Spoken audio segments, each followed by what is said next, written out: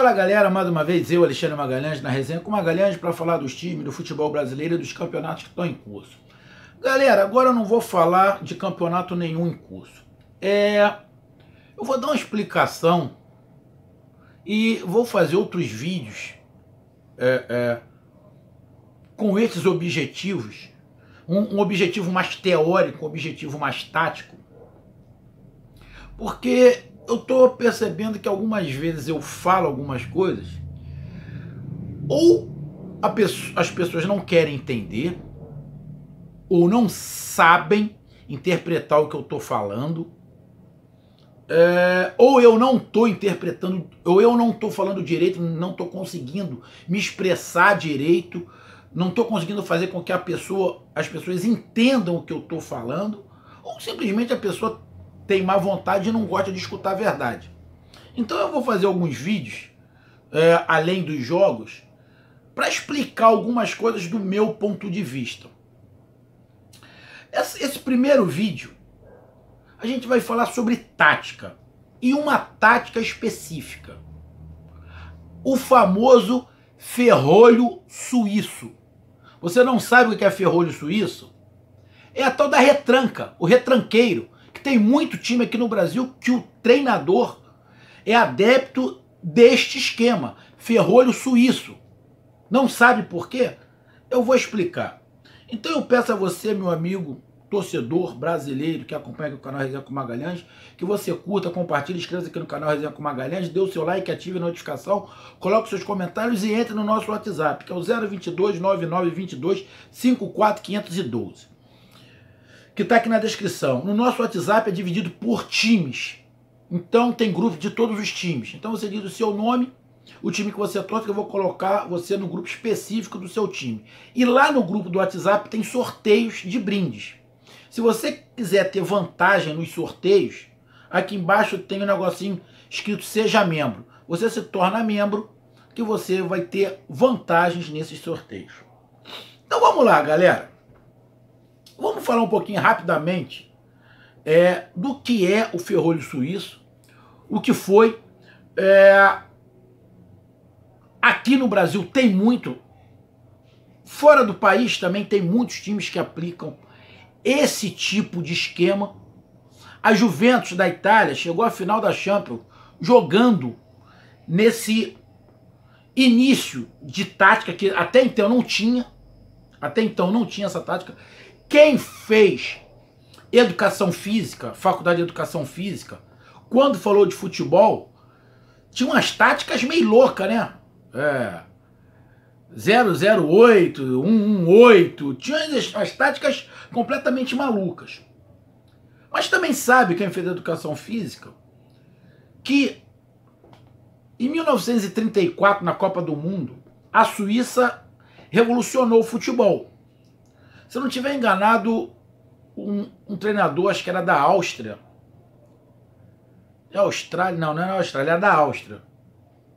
É, ele no seu país ele já tinha ganho vários campeonatos jogando dessa forma e foi convidado para a seleção da Suíça. Na Copa do Mundo ele fez esse esquema, que ficou conhecido como ferrolho suíço. Por quê? Ele jogava atrás da linha do meio de campo, ele dava o campo todo para o adversário, jogava atrás da linha do meio de campo.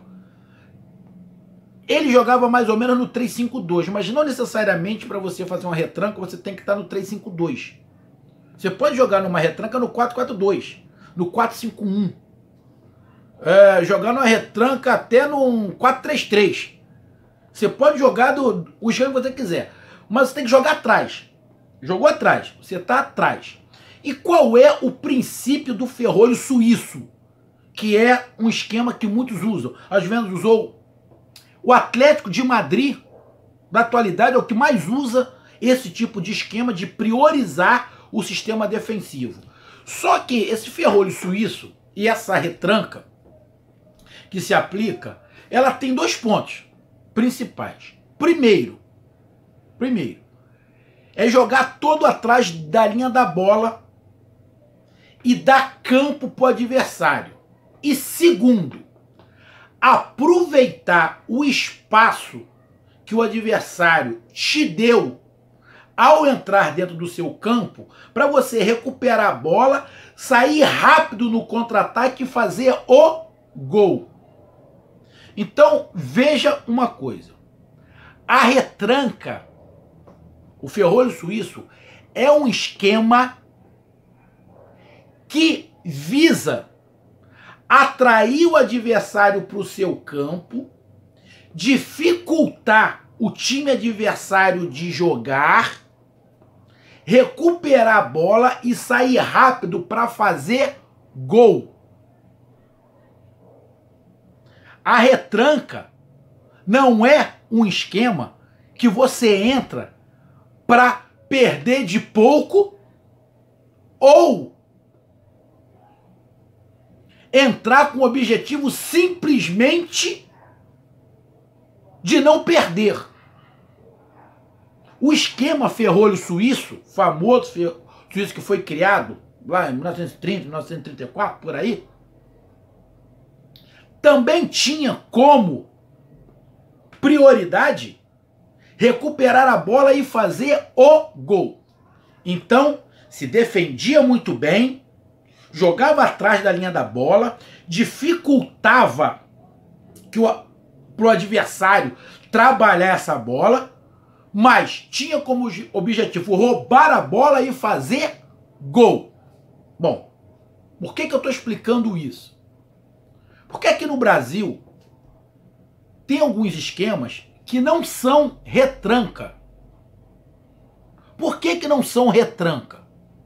Porque tem alguns times aqui no Brasil que algumas vezes, algumas vezes, eles jogam de uma forma de todo atrás da linha da bola, todo mundo atrás, porém, quase nunca ele sai para contra-atacar para fazer o gol. O objetivo não é fazer o gol. O objetivo é simplesmente não tomar gol. É dificultar o jogo do adversário. Vou falar de novo. O ferrolho suíço, o objetivo era dificultar o jogo do adversário, roubar a bola, sair rápido no contra-ataque e fazer o gol. Se você joga todo atrás da linha da bola, dificulta o jogo do adversário. Porém, a hora que você recupera a bola, você não sai para o contra-ataque, isso não é retranca. Isso é um esquema covarde. É outro esquema. Deve ter um outro nome. Eu, eu dou o nome de é, é, tática covarde. Ou antijogo. Antijogo. Porque o objetivo do futebol é fazer gol. Lógico. Se você está numa disputa que o empate é bom para você, é outros 500. Tá? Se o empate é bom para você, outros 500. Se você tá num, num campeonato onde se você perder de 1 a 0 só, você é campeão, é outros 500. É outros 500. Mas mesmo assim, mas mesmo assim, mesmo você perdendo de pouco vai ser campeão, é, você precisando do empate, você vai ser campeão. Mesmo nesses esquemas, se você só se defender e não contra-atacar, não é o ferrolho suíço. Não é o esquema considerado de retranca. Não é um esquema que diz um esquema reativo, como dizem hoje. O que, que é um esquema reativo que todo mundo diz hoje? Se defende, puxa o adversário para cima e depois sai no contra-ataque para fazer o gol. Quando você faz um esquema onde o seu time só se defende e não sai para fazer o gol, isso não é o ferrolho suíço, isso não é o esquema tático de retranca, isso não é um esquema reativo. Isso é um esquema covarde que entrou só para anular o jogo do outro. Mesmo que o empate te favoreça, não vai deixar de ser covarde. Ah, Magalhães, eu usei esse esquema covarde, mas, mas fui campeão. Beleza, parabéns. Mas o esquema é covarde, porque a prioridade é o gol. Eu quero que vocês me entendam isso.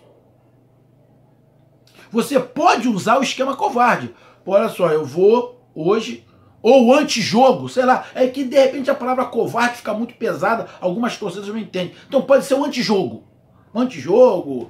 É igual igual teve alguns treinadores que falou: "Ah, o gol é um mero acaso".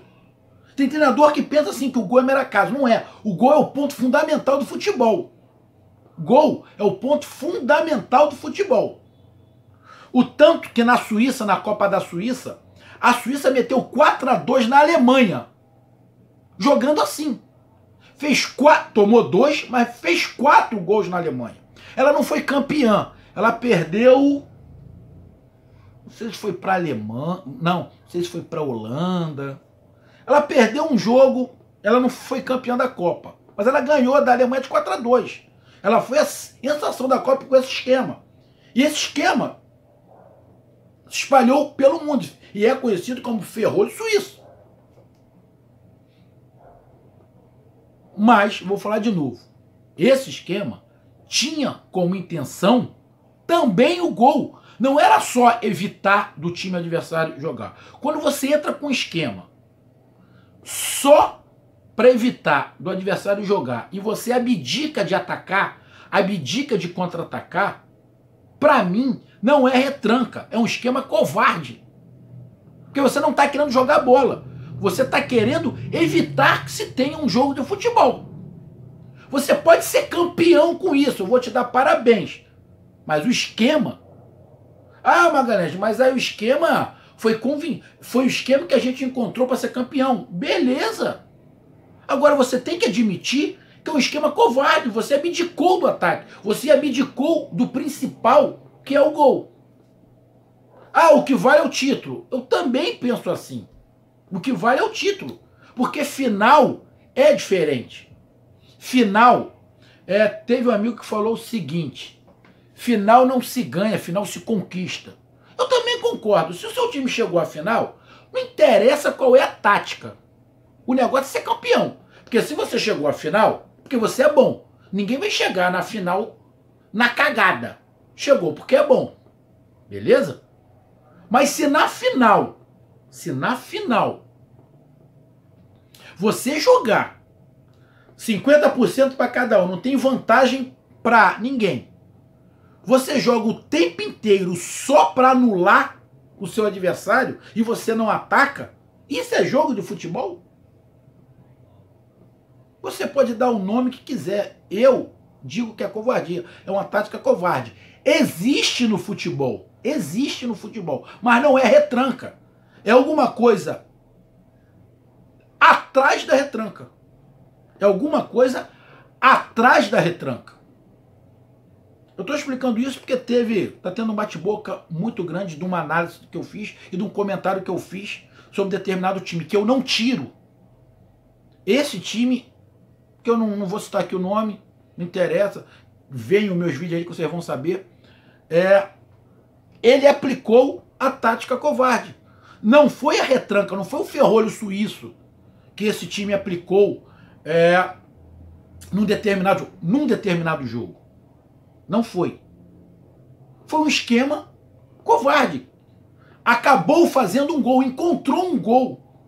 Mas o goleiro adversário quase não tocou na bola. Não teve quase chute a gol nenhum. Então, meus amigos, para você entender o meu pensamento. Quando eu falar que o esquema, tá? É um esquema covarde, é um antijogo, é isso. Porque o time jogou o tempo inteiro atrás e não quis atacar. O time só jogou para não perder e para anular o esquema do adversário. E isso não é o esquema de retranca. Isso não é o esquema ferrolho suíço, porque a retranca, ferrolho suíço, como é conhecido, o, o, o jogo da, da o jogo reativo, todos esses que eu falei, com exceção do covarde, quer o gol, mira fazer o gol. O esquema covarde, não. Ele só quer se defender sem fazer gol. Mas é um esquema. Para determinados jogos, vai valer a pena. Imagina, você está num pontos corridos, você está três pontos na frente do seu adversário e você está com três gols de saldo na frente. Se você não, mesmo que você perca, mas não tome três gols, você vai ser campeão. Beleza. Mas o esquema é covarde. Mas funcionou e você foi campeão. Parabéns. Mas o esquema continua a ser covarde. Não é porque você foi campeão jogando dessa maneira que o esquema não foi covarde. O esquema foi covarde, porque você não quis procurar o gol. Ah, porque não precisava. Tudo bem que não precisava. Mas o esquema não é retranca, não é o ferrolho, é o covarde. Eu estou explicando porque tem diferença. Tem diferença. Vai no Google, pesquisa o que é o ferrolho suíço. Você vai ver lá que o ferrolho suíço, o objetivo é sair no contra-ataque e fazer o gol. Se você não sai no contra-ataque, você só se defende, você não está aplicando ferrolho suíço. Você está fazendo outra coisa que não é essa tática de retranca. Você está abdicando do principal objetivo do futebol, que é o gol. Mas concordo, final não precisa jogar bonito. Final tem que ganhar e ser campeão. Isso eu concordo. Isso eu concordo. Para você ser campeão, interessa a tática. Agora, existem táticas ofensivas, existem táticas meio a meio, existem táticas retranqueiras. Mas todas tem que procurar uma maneira de fazer o gol. Quando você não procura nunca, você só quer se defender, já entra só para se defender, para não fazer gol, não é nenhuma dessas três táticas. Beleza? É porque eu tenho certeza que no Campeonato Brasileiro, na Libertadores, na Copa do Brasil, eu vou acabar falando muito desse, dessa tática antijogo ou de tática covarde, que eu estou usando essa expressão. De repente eu até encontro uma outra expressão para usar. Mas só para relembrar, retranca suíça, que é conhecido, que se aplica aqui no Brasil também a alguns times, o objetivo era atrair o adversário e fazer gol no contra-ataque. Se você só se defende e não quer contra-atacar, não quer fazer gol, não é retranca, é covardia. Entenda os objetivos, mas é uma tática covarde. Beleza? Não quer acreditar em mim? Não precisa. Pesquisa no Google. Um grande abraço a todos. Valeu, tamo junto. Tchau.